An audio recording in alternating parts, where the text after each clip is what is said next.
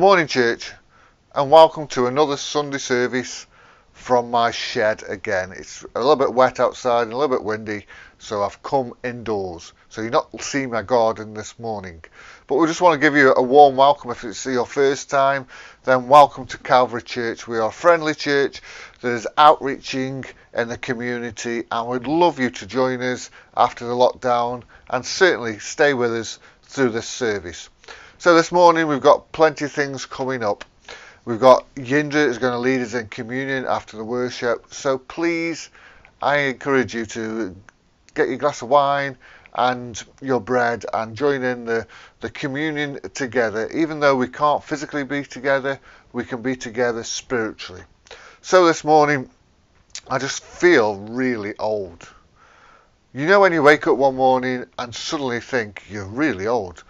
And the reason is my son Joshua is 21 today. So in the chat say hi and wish him a happy birthday. It really encourages him. Fancy having your 21st birthday in lockdown. He can't go out. He's going, he planned to go out with his mates uh, and having a fun time, but he's got to stay with his mum and dad all day.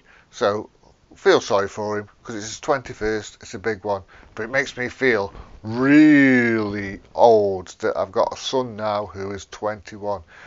Oof, that's terrible. But anyway, I just want to bless you and start to open the service with prayer. So let us pray. Lord Jesus, I just thank you for this opportunity of coming together through wonderful technology, Lord. We thank you that you are in front of us, you go before us, you prepare the way, you give us a destiny and a purpose and a calling in our lives. And Lord, we just pray right now that you'll just bless everything that is said and done. Lord, I pray through the worship, through communion, through the word, and through everything that we do, Lord, and even through the chat. I pray that your will will be done. So, Lord, I pray for a great blessing. In the name of Jesus, I ask. So now we're going to have a time of worship with Birthday Boy, and then we'll go into communion after that.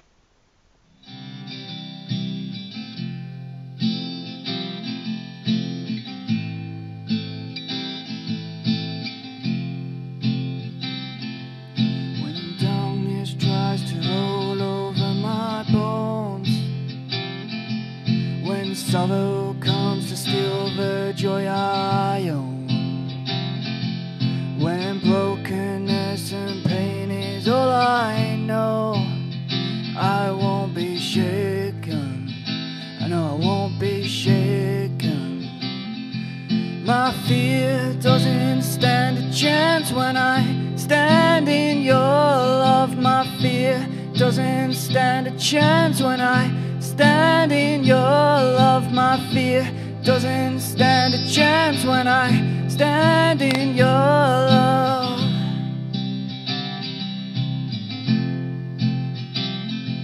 Oh, shame no longer has a place to hide. And I'm not a captive to the lies. Oh, I'm not afraid to leave my past behind. I won't be shaken. No, I won't be shaken. My fear doesn't stand a chance when I stand in your love. My fear doesn't stand a chance when I stand in your love. My fear doesn't stand a chance when I stand in your love.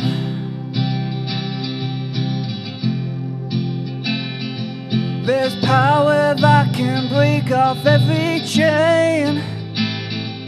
There's power that can empty out a grave. There's resurrection power that can save. There's power in your name. Power in your name. There's power that can break off every chain. There's power that can empty out a grave. There's resurrection power that can save. There's power in your name. Power in your name. My fear doesn't stand a chance when I stand in your love. My fear doesn't stand a chance when I stand in your love. My fear doesn't stand a chance when I stand in your love.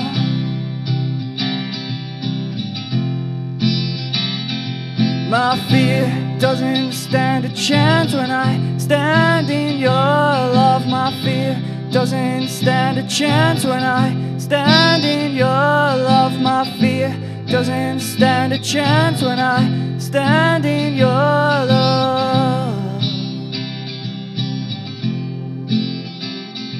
My fear doesn't stand a chance.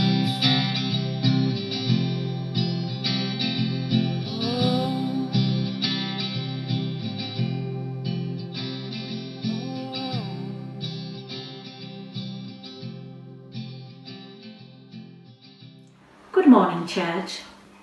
I hope you all had a wonderful week and many blessings in it. It's always good to reflect upon these times, to know that God is for us, that God is our great Father, who just not only blesses us, but blesses us abundantly, richly beyond our every imagination. And it's all good to come together to give thanks to remember what God has done for us on that cross. And uh, in the memory of it all and the remembrance, we take bread and wine together. So come along, sit with me, and come with attitude of gratitude. Let our hearts be overflowing with the thanks what He has done, and remember what what has been done on the cross.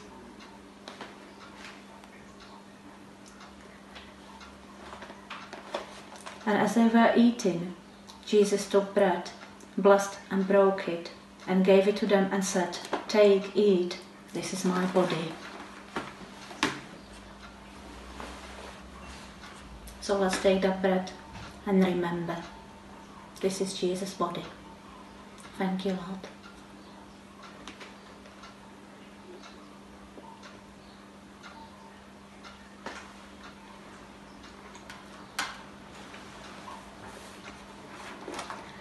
Then he took the cup, and when he had given thanks, he gave it to them, and they all drank from it. And he said to them, This is my blood of the new covenant, which is shed for many. So we remember that, Lord, that that blood of the covenant was shed for us and for me. And I thank you, Lord. And I really come with a great gratitude of remembering what you've done for us.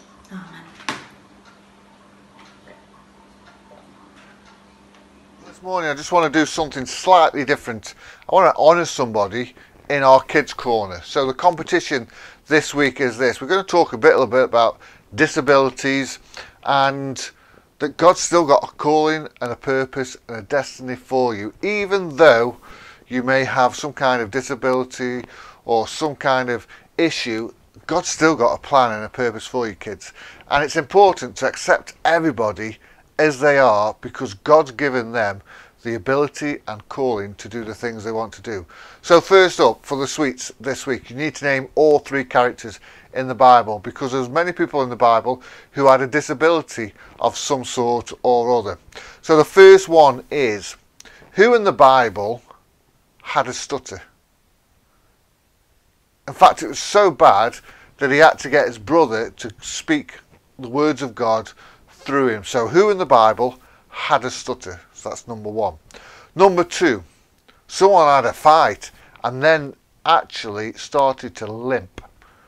God touched his hip because he wanted a blessing, and suddenly he was limping. Who was that? And the third one is something we don't quite know what the thorn was, but who walked around with a thorn in his side. And in fact, the Bible said he asked three times for this thorn to be taken away, this ailment, whatever that was, whether it was his eyesight, whether that was uh, his blindness, whether that whatever it was, God asked him. Uh, he asked three times to be taken away, but God never did it, and He said, "My grace is sufficient for you. In your weakness, I make you strong." So, who is that character? There's three characters there. First one sent it in. Jackie Bailey, if you're going to do it, text it me because sometimes you're ahead of everybody else, but that's fine. So, text text, write it in. Whoever gets it gets the sw- sweets when we come back. Well, this has all started from I bumped into my mate Jay, Johnny. First time I ever met Johnny was actually at an Easter service. I was leading the Easter service, and all the kids were lining up to get an Easter egg, and each child had to do perform something, either a song, a joke, or something they had to perform. So Jay joined the queue and he came along to me and he came up to me wanting this egg, but I thought, no, you've got to perform something to me. I'm not going to treat you any different than anybody else. And we shouldn't treat people different, we should just realise where they are. So what did Jay do? He did his famous Scooby Doo impression. And it tickled me and it made me laugh. And ever since then, we have been best of mates. Even so, he came and he used to sit right next to me every Sunday, uh, on my next to me at the front, and then all of a sudden, a young blonde lady came into church named Sally, and he used to sit next to Sally and not me. I feel so rejected. But I want to say this morning that God has got a calling, a purpose, and a destiny for every single one of you. And we've been going through the last few weeks about we need to scatter, we need to grow, we need to bear fruit, and we need to reproduce what we are. And actually, Jay is fulfilling all those things. And it encourages me to see him fulfilling the things that he has. God has got a purpose for Johnny, he's got a calling for Johnny, and he's also got a destiny for Johnny. Now, Johnny, I would call his calling is an encourager. And it doesn't matter what type of service uh, sermon I've preached, whether it's been the most terrible sermon ever, I have people in the congregation at times falling asleep on me on the front row. You know who you are. And but Jay every single time will come up to me, shake my hand and say, "Well done, Gary." Doesn't matter whether it's good, bad or indifference. Jay is an encourager. So that's his fruit, that's his purpose in life. He's a great encourager. And he goes round the people and he will encourage you he, the people who've said a prayer, he would tell you, well done. And we all need to be a little bit more like Johnny at times, with that lovely smile that he has, and encourage one another. So, kids, I want to challenge you to encourage those that are around you. Just like Jay is a great encourager.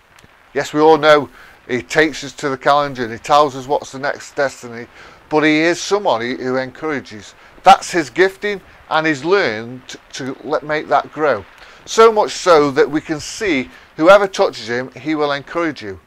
But also, he reproduces that encouragement in himself into you. And the amazing thing is that he says, Well done, Gary, that I automatically then, because he's encouraged me, I encourage somebody else. So he's reproducing what he's sown, what he's thrown out into me into somebody else. And we all need to be a little bit more like that. We all need to have that encouraging spirit within us. So I just want to encourage you. You want to see what is in my heart, what encourages me. I've just got little, two little clips from Johnny, and it's blessed me so much this week. You know, as a pastor, so many times we get so many beats up and we get scars on our hearts, and sometimes we have to carry the pain of other people's burdens upon us. But Johnny is someone that encourages you. And if you want to know what encourages me is when people are starting to grow into who they are meant to be, are fulfilling their purpose in life. And Johnny does that. He's got a purpose in our church. He's a great encourager. He even works in the kitchen sometimes. He tidies up. He's fulfilling the purpose that God has called him to be. That calling that is on his life that he is that encourager. Doesn't matter who you are, whether you're a stranger who's never seen you, he will still shake your hand and welcome you in. He's that type of guy, and he has a destiny. God has called him to our church for this time to encourage everybody else. And he's fulfilling that far more than any others of us are, of fulfilling the calling that we has done and within us. So this morning I just want you to be blessed with Johnny worshipping. Now it might not be the best singing. He's, he's as good as me at singing. But what he's singing is singing from the heart. And when God hears that, he hears that sweet, sweet sound in his ear. Doesn't matter how bad you are at singing or how good you are at singing, it's all about coming from the heart.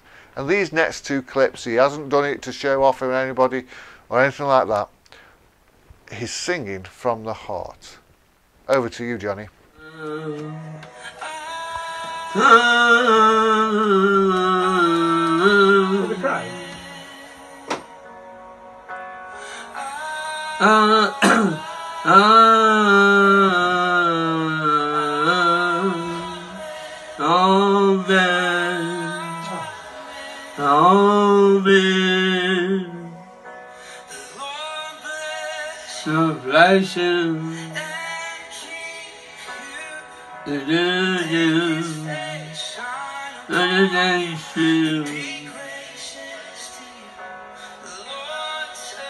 Now don't you say the time That is you.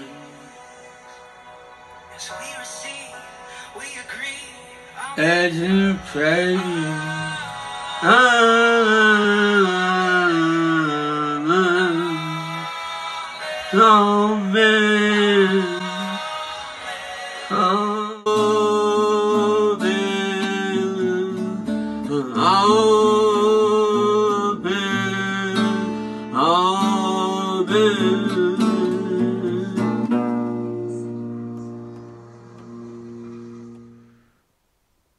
Now we are going to have uh, the word spoken from Victor, who is our, who I class as an apostle to our church. He's come in with a humble heart, but he is that apostleship spirit that if you've read in the Bible, he's fulfilling all the duties of an apostle. So it's with great pleasure and a great honour that he's prepared a word in season for us. So I encourage you to listen to what God has to say because it might be just be one sentence, it might be one word of what he says, but it can challenge you, it can impact you in a special way. So a big thank you, Victor. Over to you.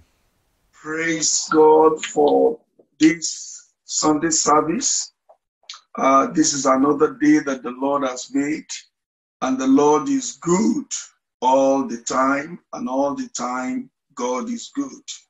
I'd like to share with us the word that God has given to me for this season in line with uh, the vision that God has given to the church concerning growth, uh, scattering of seed, planting it, nurturing it, ensuring that it grows and it can continue to bear fruits.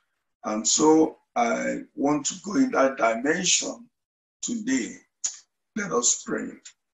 Father, in the mighty name of the Lord Jesus, I want to thank you for this Sunday service. I ask that, Lord, you will speak to us, bear your mind to us, and show forth your counsel uh, to us concerning the vision of Calvary Church, Macclesfield. In Jesus' name, amen. Amen. Praise God. Um, for anything that God will do, God will always have a man to use. When we're talking of um, scattering of seed, it has to be with man. If you remember the parable of the sower, the sower went to sow. However, anyone that God will use for this purpose, uh, there are certain things uh, that must go with the work of seed sowing, planting the seed, and then nurturing it, and to ensure that uh, it reproduces. The number one thing is in the book of Daniel, Daniel chapter 1 and verse number 8. Daniel 1 8. But Daniel proposed in his heart that he would not defile himself with a portion of the king's meat, nor with the wine which he drank. Therefore, he requested of the prince of the eunuchs that he might not defile himself. The first thing there is purpose. Any man that God will use for seed to scatter the seed of evangelism wherever God will put him must be a man of purpose. You must um, propose or determine within you that you will do the work of scattering of seed, regardless of whatever may want to deter you, whatever may want to discourage you, whatever may want to stand on your way. Daniel proposed in his heart. Daniel determined what he will do. He will not allow anything to dissuade him or to uh, persuade him otherwise. And that is the first thing in the area of scattering of seed of evangelism.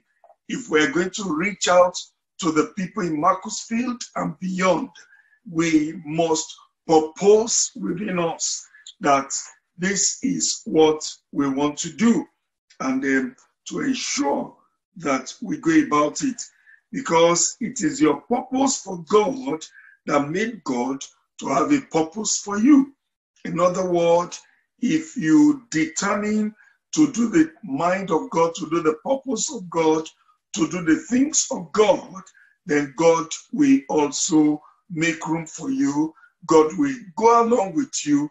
He will cooperate with you and ensure that what you have proposed in your mind to do will be done. Amen. Now, the second thing is to be a man of purity, because in that verse number eight, you will see that Daniel proposed in himself that he will not defile himself. Anyone that God will use for uh, scattering of seed or to carry out the mission or purpose of evangelism must be a man of purity. He must be pure in heart, pure in everything that he does. In second, second Timothy chapter 2, verses 20 to 21. Second Timothy chapter 2, verses 20 to 21. But in a great house, there are not only vessels of gold and of silver, but also of wood and of earth, and some to honor and some to dishonor. If a man therefore purge himself from these, he shall be a vessel unto honor, sanctified, and meet for the master's use, and prepared unto every good work. There's a lot there. A man that God will use, you know, to scatter the seed of evangelism for souls to come in to the kingdom must be a man of purity. It is clearly spelled out. There are different vessels in the house, but the vessel that God will use must be a pure vessel of gold and of silver and of honor, of gold, of silver, and of honor. In other words, such a vessel must have gone through a process. The Lord must have processed that vessel. We all know that before you will appreciate gold, it must have gone through a purpose, going through the fire and removing all the dross. Also for the uh, for silver as well, and it must be a vessel of honor, a man of honor, a woman of honor that God can, you know, uh, use for the purpose of evangelism. Also, that vessel or man that is carrying the seed must have purged himself from everything that can defile, must have purged himself from everything that can make him impure in whatever way, and then to be a vessel that is set apart. That is the word sanctification, that is set apart for the master's use and prepared unto every good work. I like that. Prepared unto every good work. And which is to say that God must have gone through that vessel to ensure that that vessel is prepared. All forms of impurity has been removed from that vessel and is ready to be used of the Lord, you know, uh, to scatter seed all over the place. That is very, very important. Um, in Psalm 66, verse 18, Psalm 66, verse 18, the psalmist said, If I regard iniquity in my heart, the Lord will not hear me. Psalm 66 and verse number 18. If I regard iniquity in my heart, the Lord will not hear me. Our heart is important to the work. Our heart is important, you know, to the seed that you want to disperse so that there will be no contamination. He said, Blessed are the pure in heart, for they shall see God. So, which means our heart must be pure as much as the seed is pure, so that there will be no um, no contamination of any sort. This is very, very important into the work that God has called us to do. In First Corinthians chapter 6 and verse number 16, Paul has this to say. First Corinthians chapter 6 and verse number 16. What? Know ye not that he which is joined on harlot is one body? For two saith he shall be one flesh. And then in verse 19, what? Know ye not that your body is the temple of the Holy Ghost, which is in you, which ye have of God? Ye are not your own, for ye are bought with a price. Therefore glorify God in your body and in your spirit, which are God's. So, which means our body is very important into the work of evangelism, into the work of reaching out to souls, into the work of reaching out to people in our community or wherever we may find ourselves to ensure that there is purity of heart, there is purity of our soul, there is purity of our body, so that the Lord can find um, a desire in us to use us to reach out to people wherever we find ourselves. The man that we do this work of scattering of seed, of planting it wherever, and also of nurturing it to make sure that it brings forth fruit, that it can continue to reproduce itself, must be a man of principle. You find that again in that Daniel chapter 1, verse 8. Daniel proposed in his heart that he would not defile himself with the king's meat, nor with the king's wine, which he drank. Therefore, he requested of the prince of the eunuch that he might not defile himself. That is a man of principle. Whatever you would do, there's the need for you, you know, to be principled with it. Um, Hebrews chapter 11, verse 6. Hebrews chapter 11 and then verse number 6 said, For without faith it is impossible to please God. For he that must come to him must believe that he is and is a rewarder of them that diligently seek him. That diligently seek him.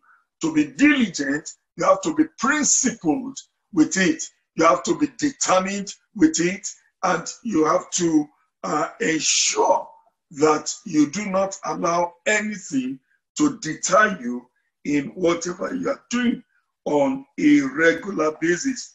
Okay, you ensure that uh, no matter what you're doing, you are principled even if it's going to uh, bring danger, You will go by uh, the principle of what God has committed into your hands. Because it is a man that is diligent in his ways. He says, seeth a man that is diligent in his ways, he will not stand before mean men, but he will stand before the king. So this requires that we are disciplined, we are determined, we are diligent in what God has given us to do, and we are determined to do it all the way without allowing anybody to distract us. Any man that God will use to scatter the seed of the word must be a man that follows instruction, must be a man that follows instruction. Proverbs uh, chapter 3 and verse number 6. Proverbs chapter 3 and verse number 6. Proverbs 3 6. In all your ways, acknowledge him, and he will direct thy paths. And that has to do with our connection with the Holy Spirit, hearing instruction, taking instruction from him from time to time, telling us what to do. Okay? You may go to this particular street today. He may give you instruction to go to another place another day, or he may tell you to remain on the same street because he's waiting for a soul that has been prepared to sow the seed of the word and to see that as the seed is planted, it is nurtured to growth that um, it can, you know, take root in the word and begin to reproduce itself. Uh, in the book of Isaiah, Isaiah chapter 30 and verse 21, he said, Thy ears, Isaiah 30 and verse 21, thy ears shall hear a word behind thee saying, This is the way, walk ye in it, when ye turn to the right hand and when you turn to the left.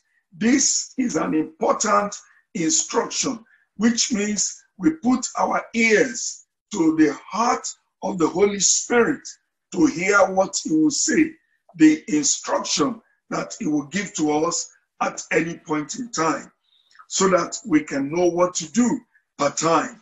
I love the book of Acts. In Acts chapter 8, there was a revival that was going on, and God spoke to Philip the evangelist to leave that place of revival and go into the desert just to go meet one man. That is instruction. Just to go and meet one man. And there he began to speak to him, you know, uh, from the book of Isaiah. From the book of Isaiah. And God touched that man and he got born again. So it was in the middle of the revival that was going on in Samaria that God spoke unto Philip the evangelist to go and join um, the exchequer of Candace, the minister of finance, and just one man, but it takes the leading of the Holy Spirit to speak to him and to go and join him um, in the uh, in the desert. In verse 26 acts chapter 8 verse 26 and the angel of the lord spake unto philip saying arise go toward the south unto the way that goeth down from jerusalem unto gaza which is a desert and he followed that instruction and met a man. And he arose and went. And behold, a man of Ethiopia, and eunuch of great authority under Candace, queen of Ethiopians, who had the charge of all her treasure and had come to Jerusalem for to worship, was returning and sitting in his chariot, read Isaiah the prophet the Spirit said unto Philip, Go near, join thyself to this chariot. You see, you must, you must be a man that is following instruction per time. And when he joined him, he asked him a question Do you understand what you are reading? And he said, How will I understand? Except a man will explain it to me. And from that scripture, he preached Christ to him. A heart that is prepared, a heart that is hungry, got saved that day. But it took a servant that was ready to hear the, the voice of the Lord, to hear the mind of God, and to preach the gospel at that point in time. And um, he got born again. He was baptized. And uh, from there, God gave um, Philip another assignment to do. The last point is the man that God will use for seeds dispersal to plant the seed, to nurture it to grow, to get you to reproduce yourself, you must be a man of prayer. A man of prayer. Little prayer, little result. Big prayer, big result. And that's why it said in Luke chapter 18, verse 1 man ought always to pray and not to faint. Man ought always to pray and not to faint. In First Thessalonians chapter 5, First Thessalonians chapter 5, Paul was speaking to the church in that place, and he said,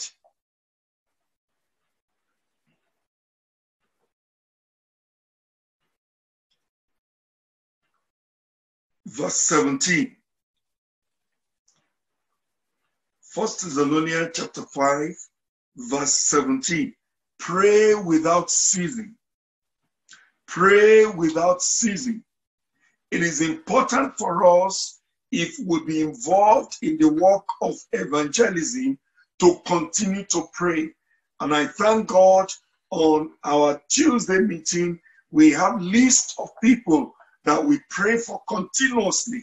We are sowing the seed into their life through prayer, believing God that one day the Lord will harvest their soul. So as we continue to pray for our neighbors, for the people in our community, our, our, our colleagues at work, even when you're on the bus or on the train, one day the Lord will send the right laborer to harvest their soul and bring them into the kingdom.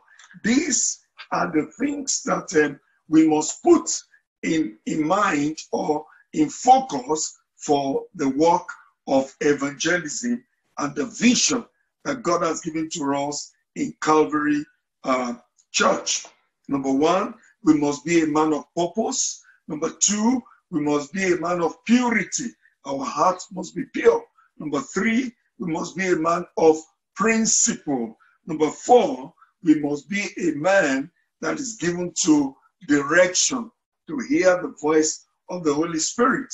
And number five, we must be a man of prayer. I believe God that as we go on with this vision and as we put this into place, the Lord will begin to add to us.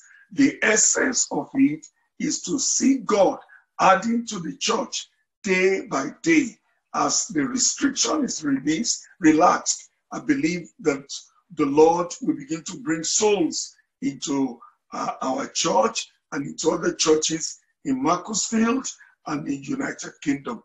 In Jesus' name, Amen. Let us pray. Father, in the mighty name of the Lord Jesus, I pray that you will water this word in our heart and cause it to grow and bring forth fruits as we desire in 30 fold, 60 fold, and 100 fold, that your name alone might be glorified. Thank you in Jesus' name. Amen. Brilliant. Big thanks, Victor. I hope God's spoken to you. I hope God's challenged you, and I hope you've learned or listened to what God has actually got to say to you. You know, God is always speaking. It's just that we're not always listening. You know, my wife is always speaking, but I'm not always listening. In fact, it goes in one ear and comes out the other time, most of the time. So we need to tune in to what God has got to say to us. So hopefully you've tuned in to something and it will bless you this week. So just before we close, I've got a few notices coming up this week. On Monday we've got our Bible study group which Frankie leads. So please, if you are able to join at half past seven on Monday night, please join.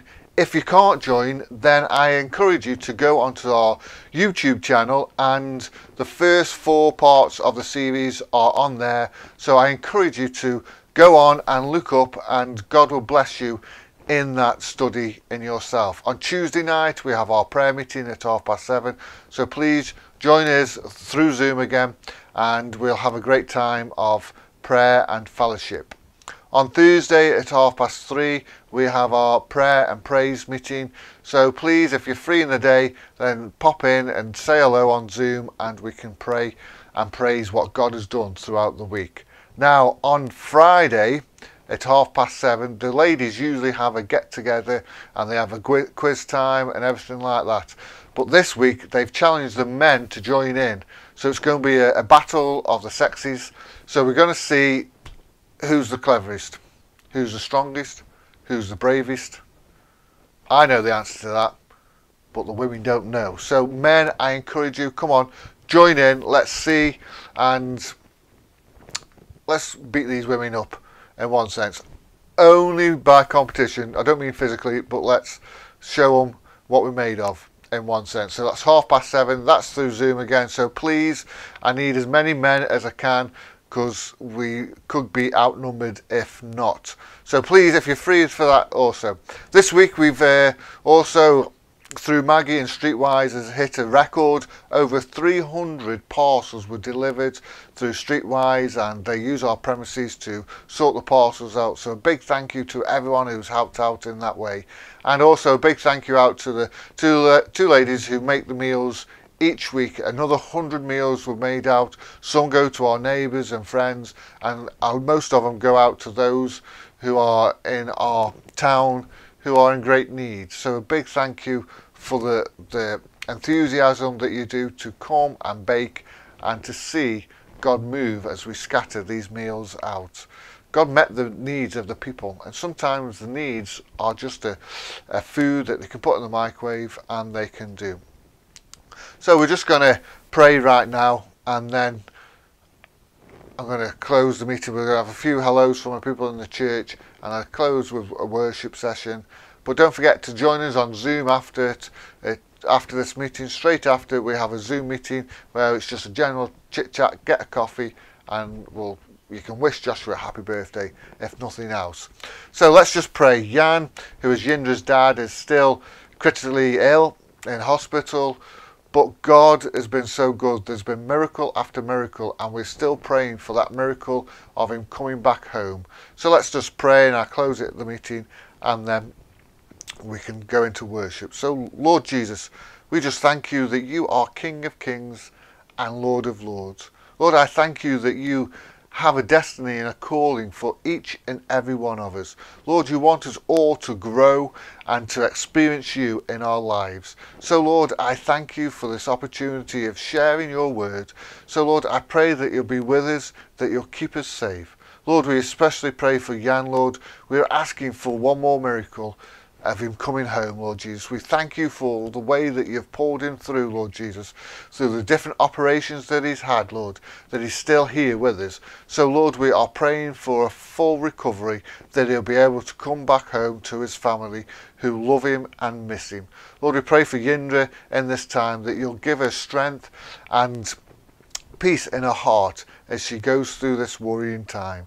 So, Lord, I just thank you for everyone. Keep us safe until we meet again. In the name of Jesus we ask. Amen. Hi everyone. We're safe and well. Hope you are. Hope to see you all at church soon. Bye. I love you all. love you all. Bye. Bye. Round, round, round about it, yeah. Good morning, everybody. Round about it, Gary, the trees.